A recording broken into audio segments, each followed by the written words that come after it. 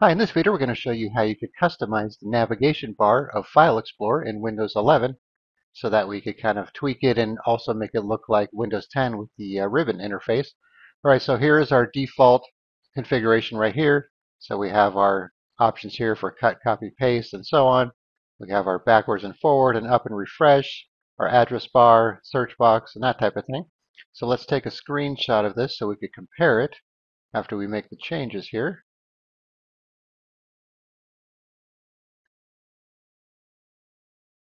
All right, so let's keep that right here for now.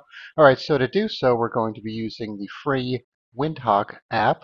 So Windhawk works by installing mods that'll tweak and change the way Windows looks and operates.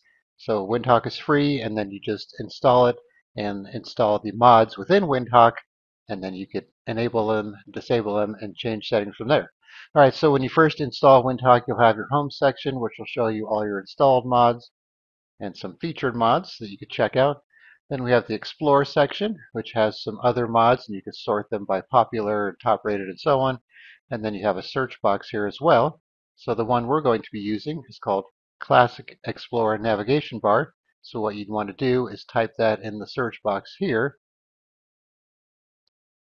And then once you find it, just click on Details and Install. And then once it's installed, it'll be on your home screen here and you can enable it from here, remove it from here, go into details, enable it from here, remove it from here, change any settings, and so on. All right, so let's enable it. Let's close File Explorer. You want to keep it closed every time you make a change there. All right, so now if we go to the settings, we have two options here, the classic navigation bar and the classic ribbon UI with no tabs. So right now we're going to use the classic navigation bar, so let's see what it looks like here. All right, so now we could see, let's open up our screenshot here. So it's similar. So we have the address bar here without the start backup. We have the tools on the top here for cut, copy, and paste. So more of a simplified look. But what most people probably want to use it for is the other option for the classic ribbon UI.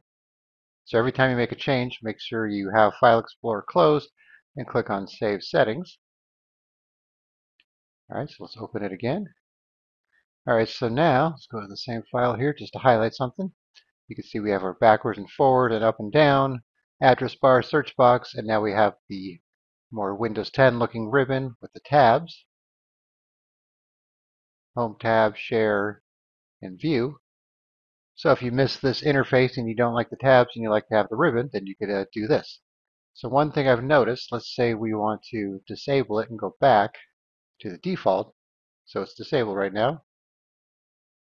You can see it kept the ribbon. So if that happens, all you need to do is restart Windows Explorer. You can just right click on the taskbar, Task Manager, find Windows Explorer. Make sure you close File Explorer first. It's usually at the bottom. Right click it, restart, and your taskbar will disappear and come back.